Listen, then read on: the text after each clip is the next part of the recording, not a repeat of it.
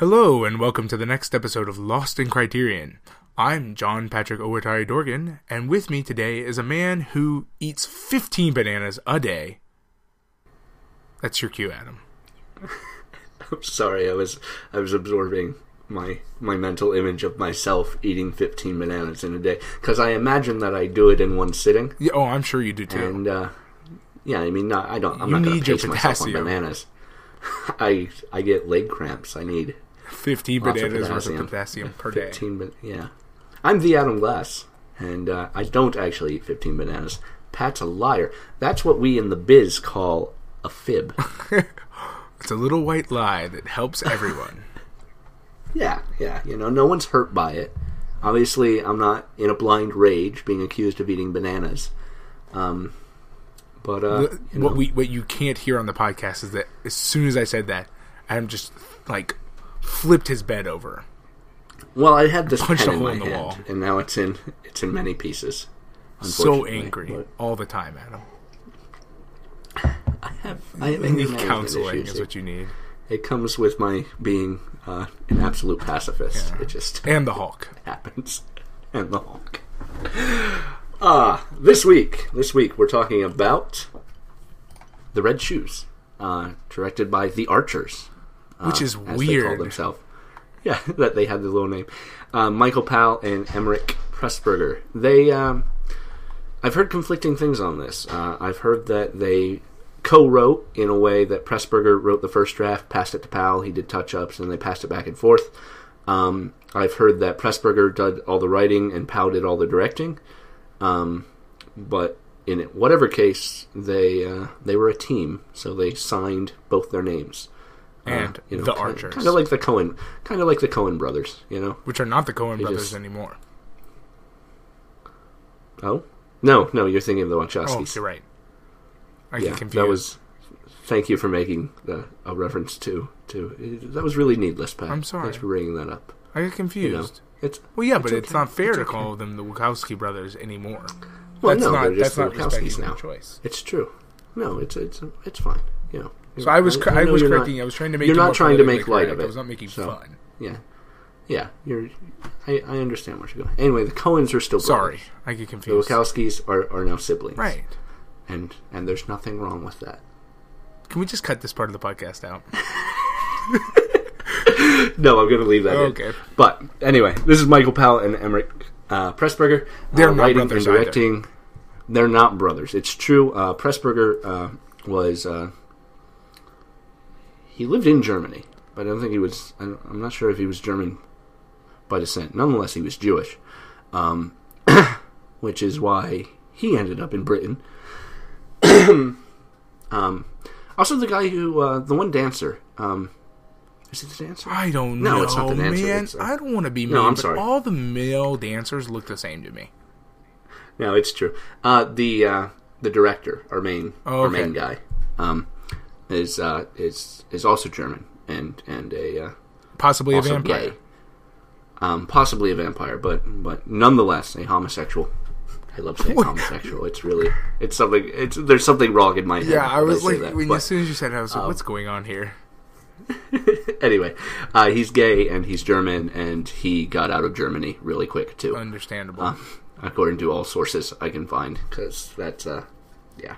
Anyway, so they're both living in England now, and Pressburger doing this hooked up with Michael Powell. This uh, originally came up as an idea in uh, the mid '30s, and then got put on a back burner when the war came up, um, which leads to an interesting quote from Powell, uh, which I'll I'll say, and then we'll, we'll cut into the uh, cut in the intro. I think. Um, Powell says, For 10 years, we've been told to go out and die for freedom and democracy, but now the war is over. The Red Shoes told us to go out and die for art.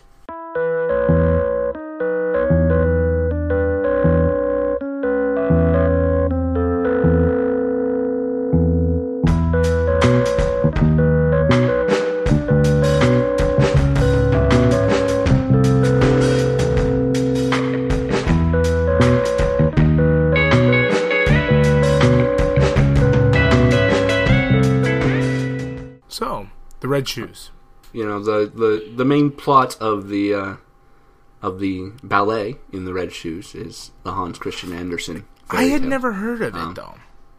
You hadn't. No. Uh, well, I mean, it's it's kind of it's not necessarily the whole the whole perpetual dancing shoes. I think is is an older idea too. of Andersen's, some. I've seen yeah.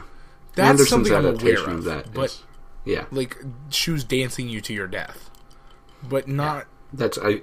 I think that happens in a couple of uh, Looney Tunes. Too. precisely. Which is where I get most of my cultural knowledge from.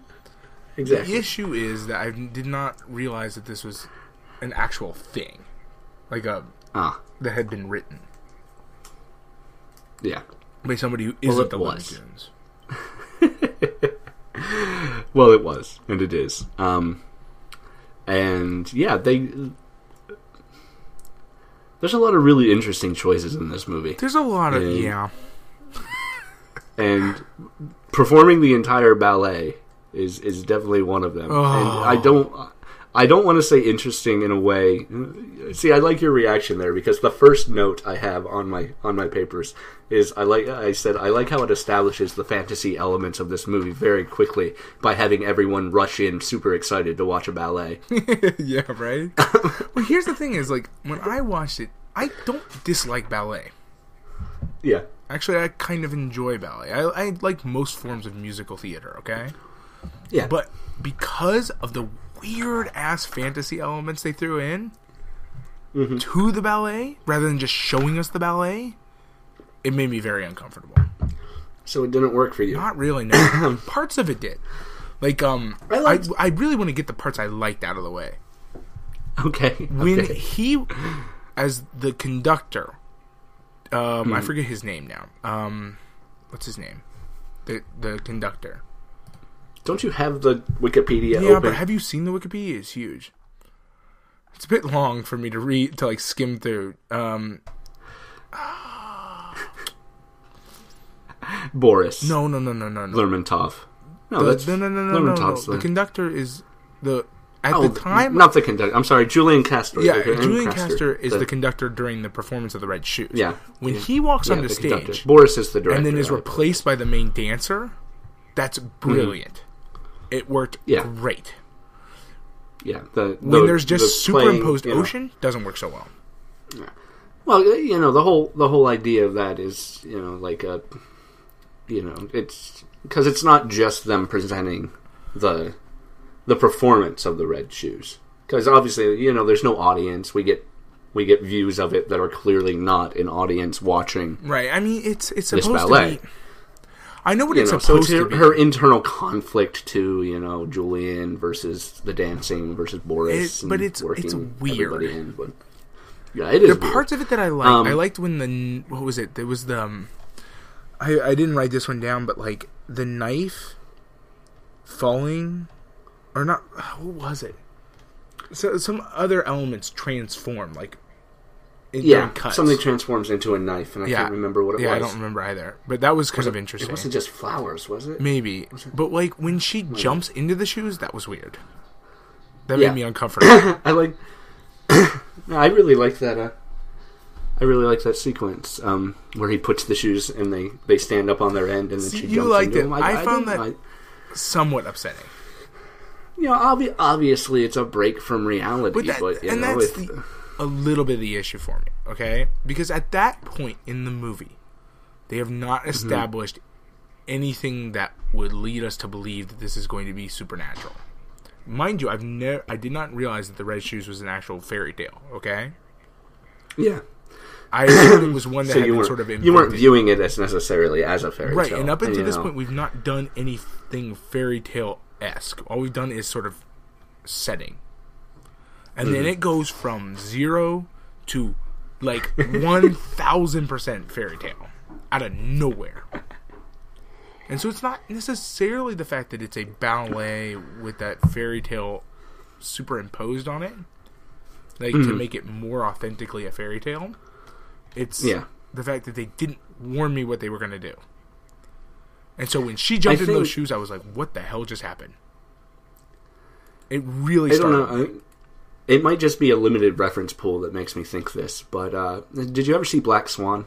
Darren No, I never saw it. Aronofsky's. Uh, Um, came out a couple of years ago, um, but also about ballet, a ballerina in a role that uh, that she's. It's more of a psychological thriller, but it also it clearly owes something to the Red Shoes, um, because you know while while it doesn't play exactly the same, you know we still have the female lead character in her first major dancing role and the the psychological uh, toll that's taking on her. Obviously, with uh, with Vicky here, it's uh, more uh, you know choosing her loves. Well, it's Um, mostly just living tough being an evil vampire.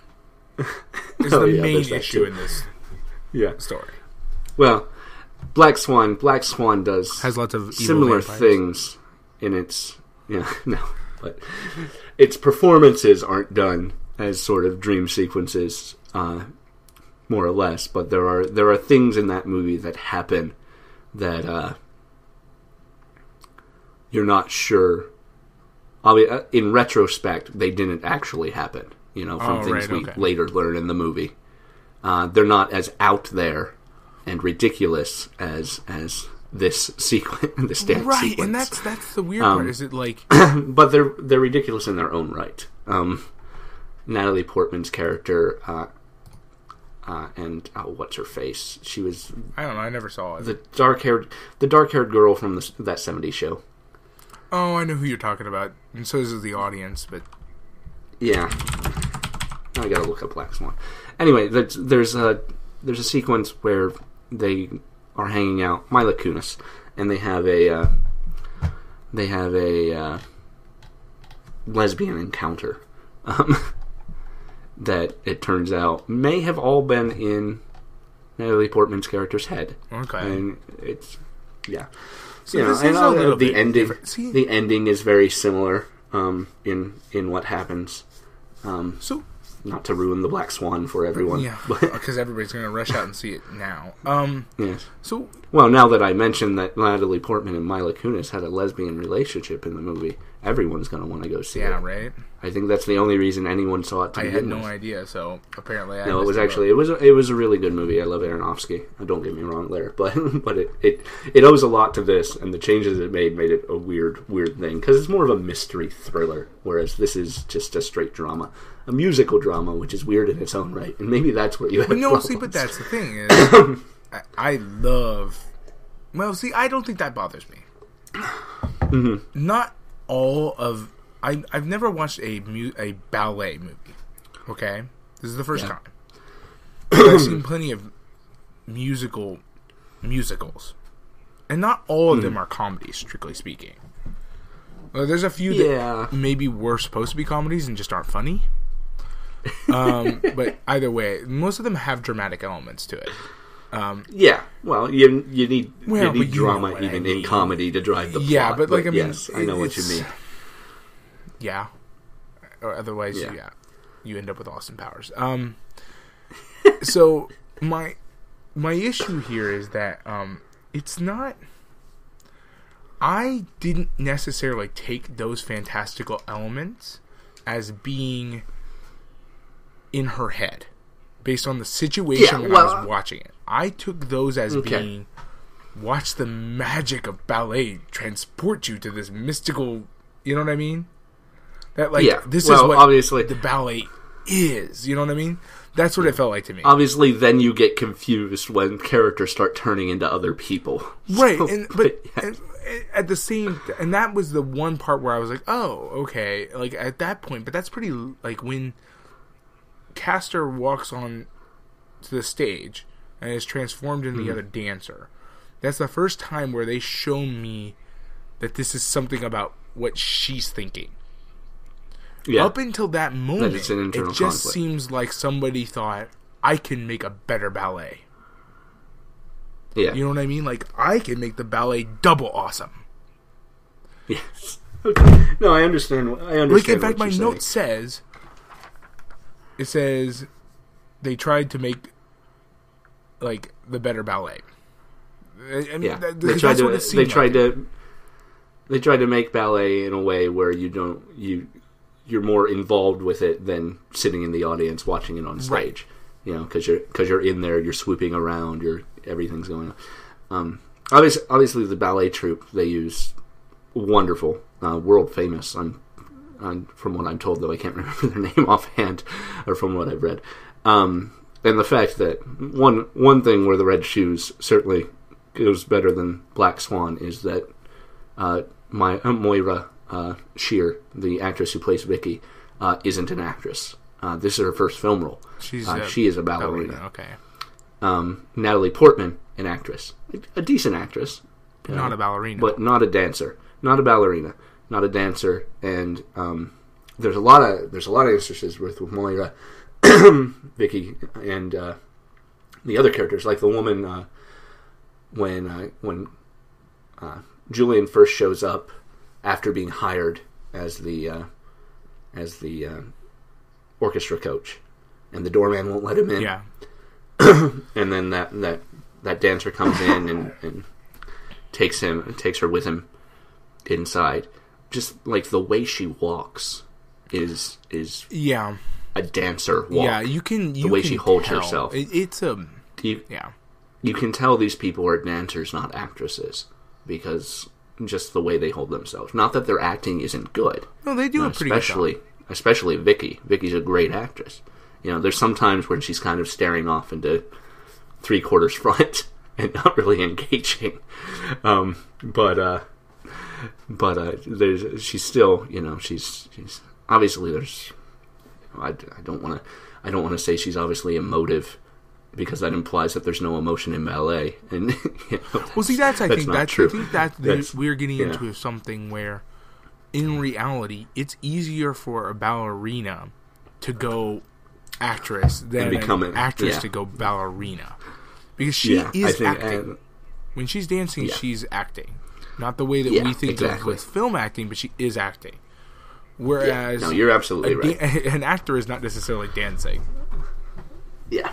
And, you know, there were all kinds of accusations after Black Swan came out about Natalie Portman using a double. And You know, it, No, I frankly, really I, would think that if you're going to make a movie about it doesn't matter. ballet, maybe they should have gotten a ballerina. yes, they should have. They should have. Like I've never seen the movie, but it just seems logical to me.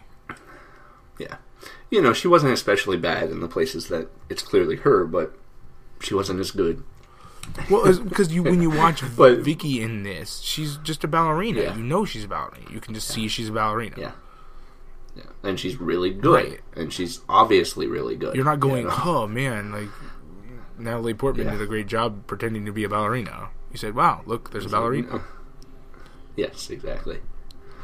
Yeah. Um, but yeah, the dance the dance is definitely beautiful. The choreography is wonderful. The, and, but I find that I find that whole sequence of the actual the actual play and her her whole psychological thing going on. I really liked it. I really Well, enjoyed I'm it. I reevaluating it based on the fact that yeah. Yeah, I understand where you're coming from and, and not not getting into it. Um, I mean, I watched it. I I, did- I it. I don't know. because I generally Yeah. like ballet, yeah, but there is there is a lot going on in that sequence. but there's a though. few where I'm um, like, I don't know what's going on. Am I having a seizure? like the like the part where everybody's in the background like worshiping this st- stone idol. yeah. Okay. Well, how about the thing with the with the with the zombies? yeah, it's just For there's a little lot bit, I was like, what's going, going, on there? Like, I, I I interpreted them as zombies. They were some sort of rag think they were. people. They were appearing to try to tear her face off. It was very confusing. like the some of the Yeah. elements, like the first part of that, I I found the sudden jump to fantasy jarring. But Mm-hmm. generally, the dancing with that when he when she has the red shoes introduced and that part was fine. But there's that middle section where it gets all Disney pink elephant on me, and I'm like, I Are you going? Are you going to have nightmares about that sequence? no, but you know what I mean, right? Like I'm I I watched you know Dumbo with my son, and I realized that like there's like four Disney movies that all feature like pink elephant dance number interludes that are just confusing and kind of non sequiturs. The Winnie the Pooh one, the FLM. Yeah, exactly. Oh, there's all kinds of there's all kinds of nightmare sequences. In Well, and so what I'm saying is that it got a little bit like that right there in the middle, and then it kind of eased out of it, and so that was a bit jarring too. I don't know, like Yeah. yeah. I guess I understand that, but you know, even And then again, like I also feel like sequences sequences like that in Dumbo are really jarring. Right, exactly, they know, are. They're so- super jarring. But Yeah. here's the thing: my issue with it, uh, with that sequence, and I feel like we're gonna we're gonna have to move off of this because it, we're an impasse a little bit. Is that Maybe. for me? The issue is that not knowing that this was going to be a fantastical story. Okay, I thought we were dealing with just strictly drama. Okay, Okay. about a ballet, not knowing that it was going to be fantastical, I kept finding myself wondering why somebody thought they could do better than do ballet better than ballet's been done for however many years. You know what I mean? Mm-hmm. It felt like somebody got uppity about ballet. you know what I'm saying, right? Like if somebody went in and added Yeah. CG to ballet. It just doesn't make any sense, right? And that's why now that in hindsight, evaluating the movie, I can say, oh, well, that was in service of the narrative being fantastical in nature. But there's nothing at the beginning of the movie that tells you you're dealing with a fantasy story. See, again, I thought that was well established when people were excited to go to the Oh, ballet. okay, you're right. Sorry. I missed that. Anyway, all right. Um, so moving on, then I suppose other things I like. Obviously, this movie has a, a masterful use of techno. Yeah, it's very pretty. Um, it's it's a very beautiful movie. Um, the cinematographer also very good. The Choreographer very good, but we've kind of already gotten over that. This is you know this is a lot of masterful people coming together to make a thing. Yeah, it is. Um, it's really, yeah. I mean, there, there's nothing about it that's not well done. Yeah, and you know you kind of you kind of get that in the like when when Julian first shows up and and Vicky first show up for the for the first play they're in together or the, the first play they they work together. Um, you know, everybody doing their own thing in the setup of the I love the door guy, Of the production. The, um, the Yeah. um, yeah this was it the set designer getting angry. the set You designer the door who's just sitting there drinking. Yes, It But won't you know, close. It's great. yeah, they're all great and they're all very good at what they do, and they all come together to make this beautiful production. And obviously, you know, Boris uh, Boris wants to work with the best. That's what he does, and that's his. Uh, Because he's an evil vampire. he's not a vampire. he looks like a vampire a couple times. He does. I mean, I'm not. I'm not like saying So- it because he just like he Like every so often he gets this really sinister look, and it's like, is that man going to suck my blood? It does. It doesn't help. Like after the uh, after the one dancer announces that she's getting married, so she's leaving the company, and Boris storms off, and then the next scene is just him sitting in the Yeah, dark. exactly. No, there's some serious weird brooding going on. Yeah, Well, like yeah. He's vampire esque. It's true. uh, um, this movie's also very influential. I, I think you uh, Well, you compared it to Singing yeah, in the like Rain, I, think. that I, as soon as I started watching the movie, my my first thought was Singing in the Rain, and yeah. the the two thematically have nothing in common, uh, Yeah. but they are so similar. yeah. Well, they're movies about making. Well, about making a thing, yeah, you know. and Yeah. the weird thing is, I found myself wondering something while I was watching it. So, now I might get really angry emails from people who are who like musicals more than I do. yeah. But luckily, I've never given them my email address, so screw you guys. Um, now the thing is, is that for me, in my mind, from everything I come to, come to understand, Singing in the Rain killed the musical by being the Mm-hmm. pinnacle of musicals and being such a Yeah. meta look at musicals. Killed the musical, basically. Okay. Well, I think it. I think. I think Singing in the Rain follows the Red Shoes in making making musicals have to push an envelope more than they'd already Right. done. Yeah, Right, and- and- because this is obviously there's there's some influence on Singing in the Rain from this straight up. Uh, Gene Kelly loved this movie. Gene, uh, um, the movie Gene Kelly made before Singing in the Rain was An American in Paris, and he actually made the crew, the production crew of. Uh, in American in Paris, watch the Red Shoes fifteen times before they started filming. Yeah, which is yeah, obviously loved it, and and it shows up in Singing in the Rain. You can see it; it's there. The, even the mm-hmm. fantastical elements in certain dance sequences and stuff like that. Yeah. But the weird thing about it is, is that Singing in the Rain in a lot of it didn't kill the genre. It just was sort of like the last one. In a lot of ways, there were other ones, but it was. It's the pinnacle. There was obviously after that, it all drops that, off. but it was still yeah. And I, Yeah. I found myself wondering the entire, was like, is that have I in my entire movie watching life missed? Are there a bunch of ballet mu- ballet movies that like was this the pinnacle and killed off the ballet movie? Is what I kept wondering to myself. I know it, it isn't, but it's an awesome thought to me that up until this movie was made, they were like cranking out five, ten ballet movies a year. No, I don't think that was happening. Um, it's a good thought, though. It's ridiculous. It's, it's Um, beautiful, is what it is.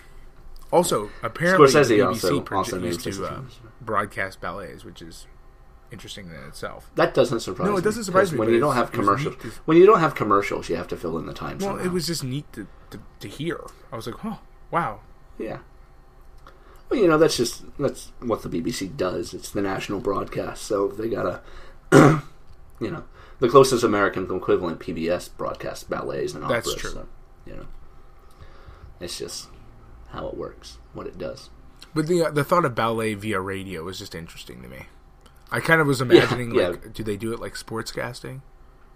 Yeah, I guess I didn't really make. Yeah, I guess I didn't think about how far that. Like, I assume they just listen to the BBC music, right? radio doing it. but and Yeah. maybe describe the story or something. But in my mind, I'm like, okay, now Vicky has been thrown into the air, or you know, I can't imagine. It's like, I don't know. backup like Probably, probably you treat it like an opera, and you you play the music Yes. and you read the. Uh, That's what I figured, You read too. the little notes, the program notes about what's going on. yeah. So there's no uh, Dick Vitale of, uh, Yes. No dick. of, of, of ballet broadcasting. Hmm, that's that's From that's downtown. yeah, exactly. It's it's it's my thoughts. It's like, Yes. well, I've never seen like anything like this in my days. That was the best pirouette I've ever seen. She's gonna Ah, be a star. Pirouette. Pirouette, the one, the one ballet term we yeah, know. well, it's gonna come up again, I'm sure, because it is the only ballet term I know. Yes. Ah. well, um, what didn't you like, especially? I, well, I told you what I didn't like. yes. You I didn't want to like know what you didn't elements. like. Um, it's I, I don't know if I didn't necessarily. You know, it didn't it didn't punch me. It didn't. Uh, there was nothing. I'm not going to go out and recommend this to. to I'll people. recommend I it to suppose if people who, like dance if movies. I know if I meet will somebody who I know likes musicals, I would recommend it. It's yeah, good. yeah. If It's a good movie. Yeah. I feel like I feel like the people uh, I know who uh, would be into this movie would have already seen Yeah, that's movie. the other issue. Yeah. It's like you're just gonna Um, look like that guy who recommends something. Everybody's like, "Oh, we've." Eh, Yeah, we've been watching that for I'm years. a little tired Thanks. of that. We've moved on. Pat, I, I just heard about this great band, the Beatles. Yeah, Perhaps right. you, uh, I think you would you'd really love to get into them. Um, Yeah, I, yeah. I'm worried that, considering it's something from 1948 yeah, because it's not like that. I mean, I've recommended 400 Blows to people, knowing, feeling Yeah. fairly secure in the knowledge that they. There's a pretty good chance they've not seen it. it's a black and white French film. You're not going to run to a, into a whole lot of people who, unless they're a pretty hardcore film buff, I don't think they'll have Yeah. seen it, right? Whereas if you're into musical theater, Yeah, there's a especially if you're into yeah, ballet. there's a really good chance you've probably seen this, and that I'm just going to look like Yeah. an idiot. Yeah, And thinking about this in like terms of dance movies, you know, we talk about we talk about you know, obviously after Singing in the Rain, musicals didn't stop. No, no, Gene but Kelly in himself my didn't stop mind, they making sort of musicals, did. but they sort of did because they're like, but you know, knowing that this They did exists, slow down. and then They stopped. they s- they and made then fewer seeing, of them. yeah, then seeing all of the crap dance movies that come out. Wait, wait, are we talking Like, like you know, uh, like Bring know, It On or something, or uh, what are all those things- things like uh, that. What is it? Things- like Step things- Up or whatever? Step up, yeah, that try to try to dramatize dance and just don't don't at all get to this level. Yeah, and that's weird Um, because there's drama there. You Yeah. could because the dance is just a means of conveying conflicts, right?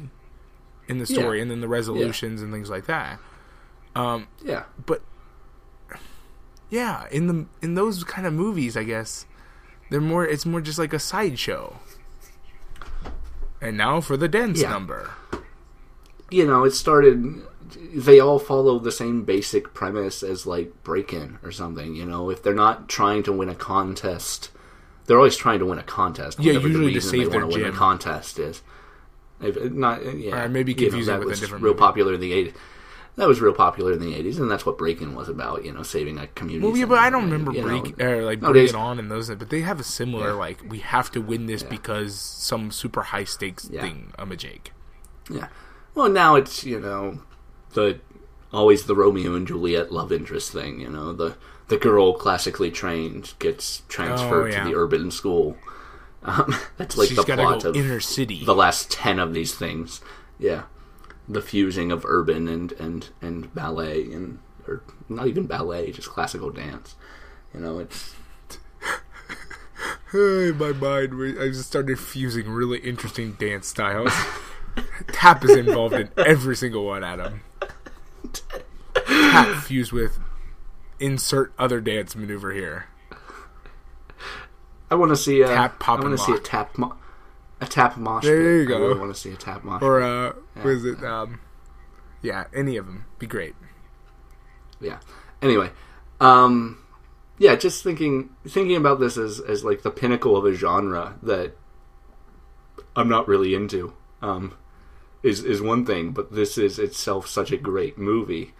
Um, I really like it. I really No, did I like it. I like it. Um, I mean, I'm not. I only have about one scene to complain with. Unfortunately, that one scene is like 45 minutes long. Yeah, I don't. I don't like always a narrative that ends with our main character dying.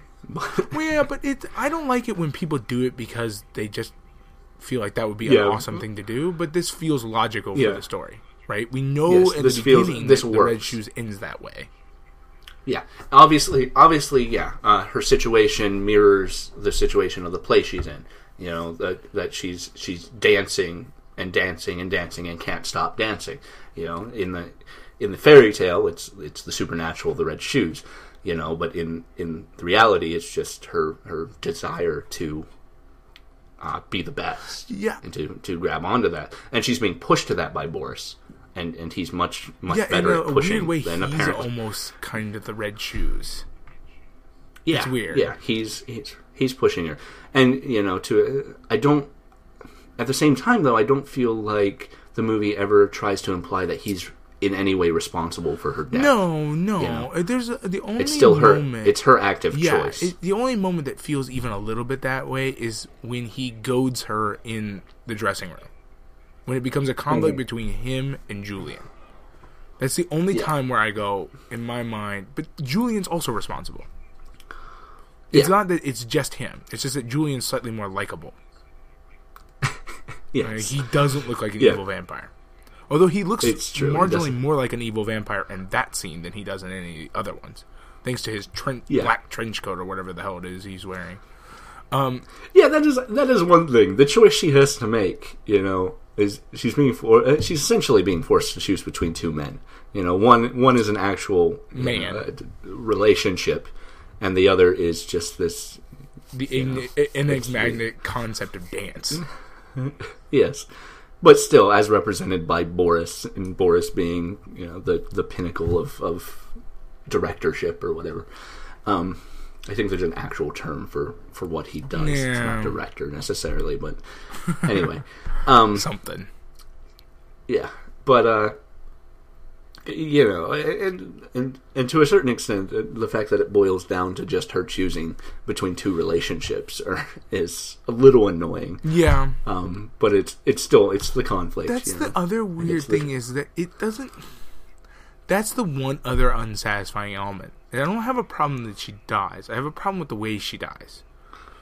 The Mhm. dancing doesn't kill her. No. Running off the edge of a balcony does. Yes. which is where it falls, where the whole red shoes thing falls apart a little bit for me. You know what I mean? Just that one part, like the way she dies, is a little bit like, huh? Like yeah. they could have found a way to actually make it kill her. Yeah. Well, that's that's one thing. If you if you pay attention in that last bit, um, when she dies, she shouldn't have had those red shoes on yet. You know, it's, they're not to that part of the production. Right. Um, so the fact that she dies with the red shoes on is is you know a symbolic. Well, see, I that- assumed it was a fantastical element. I assumed her shoes weren't actually red. I, I mean, that's that's possible too. I but, assumed yeah, that they were just humoring the lady who's dying. the act of Julian taking them off, and then the whole fantastic sequence of, of giving them back to to the the evil shoemaker, um, and him putting them back in the window. You know, ending ending the movie the same way the play ends. Right. Um, certainly lends to that that interpretation. Yeah, so I'm I'll not. Yeah, I'm not convinced that she was actually ever Yeah. wear, wearing red shoes. But Yeah, maybe and maybe she wasn't meant to be, but you know, at the same at the same time, even if she wasn't, that's the director. I think the directors, uh, you know, putting putting a bit of symbolism in there to Right. suggest that it's the dancing that's killing Right. her. You know, but it's not. It's ultimately not really the dancing. right, it's and that's it's the, issue. conflict. it's you it's know? it's the conflict, You know, and then also, which that's the thing is in the red shoes, the play that's described to us. Mind you, I've never read it, but it's described to us. It's the actual dancing, not the Yeah. conflict Yeah. that kills the main character. Yeah, but you know, it's still it's it's it's the play is used the the the ballet is used as symbolism, but obviously it's not a one to one thing. Yeah, it's- you know? it's what- and- and- you can always choose to not be in the ballet. and it's a little bit frustrating. Well, Like, but there's, I'm sure Yeah. you could have. They, the, Yeah. as a She's- small, as, as a pretty niggling complaint. I just feel like they could have made it so that because it. But the red shoes are supposed to be symbolic of her love of dance in general in the play Yeah. and in the story in general, right? Like this this passion kills her. So they Mm-hmm. could have made it so that her passion for this thing is what kills her, rather than Yeah. the conflict between yeah, it's not passion and her other Yeah. passion. it's not like she collapses under exhaustion. Or you know, like she- yeah, something like dance I don't know. I can't imagine, but I'm sure they could have written something that would have allowed her to die from her passion. Um but then again, I don't instead know of as a response to being to being forced to choose between right, and then in the know. end, the way she falls, I ended up watching it like four times. Okay, because I was like, Uh-huh. Yeah. huh? The first time I watched it, I literally was like, huh? What? Did, huh? Is she dead? like, I was really confused because it just seems like she accidentally falls. Oh yeah, And I so mean, there's there's that like- element too. It's like And if it's It if it's seems to if break the it's story. that she accidentally falls, if it's that she accidentally falls, if that's really how it how it is, but it's so Then- hard to tell. no, I think I think that actually makes makes it more her passion, you know, killing her, you know, because she's so into it that she doesn't she's not paying attention to what she's doing. Right, but she's she Yeah, I think- I think that actually works for what you wanna say. Which means it's her passion Yeah. for Julian that kills her. Well, yeah, It's you- you madness. a It's it- there, this too. is this is a rabbit hole that we could go down forever yeah, we really because could. it doesn't. we really it- could. that The that last bit is not quite as clear as it should be.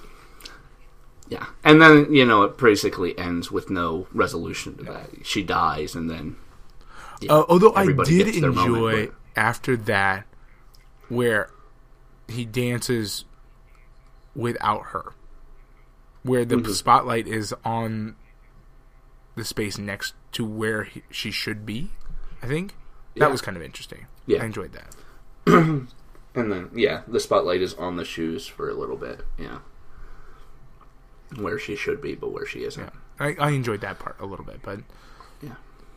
well, I mean, it was it, that that that felt good in the story Mhm. because regardless of whether or not sh- what killed her, because it's that like I said, that's that's like we were talking about, that's so up in the air. Yeah, At least it acknowledges that she's dead and that there is remorse for the fact that she's dead. yeah. On, on yeah, not just from Julian. yeah. Boris Boris gets his remorse too. I think. So, but yeah. Oh, also he Really breaks good a mirror like a boss. Not at that scene, but earlier Yeah. that was pretty awesome too. Yeah, he does. Yeah, he does. That man. That man's seizing Yeah, it's is pretty really awesome. He is. He is a great actor. Yeah. it's true. That's. I know, imagine that exactly was what ad I said lib. I earlier. bet he just broke that mirror. This is maybe maybe like I said earlier. This is this is a film where so many experts come together to portray something so expertly. Yeah, no, I, it it is a brilliant movie, and Yeah. it is only pretty niggling little details that bother me. Is not the yeah, movie. Yeah.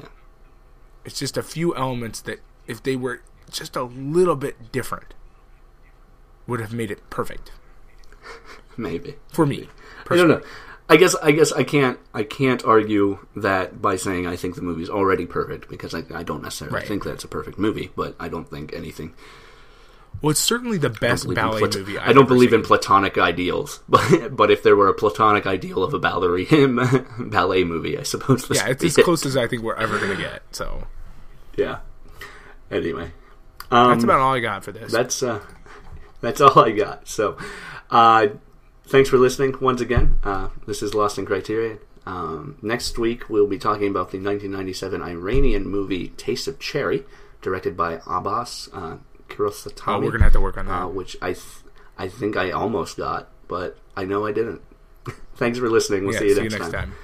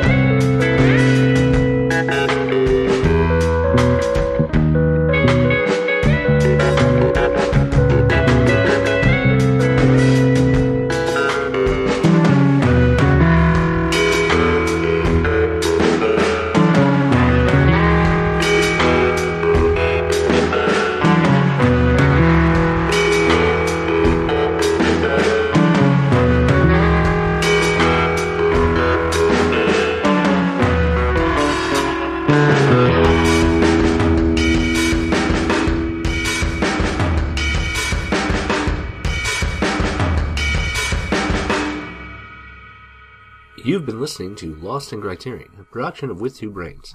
The show is hosted by Adam Glass and John Patrick Owatari Dorgan. Jonathan Hape did the music, and Adam Glass also edited it all together. Feel free to contact us by email via lostincriterion at with2brains.com or join us on the web at www.lostincriterion.com.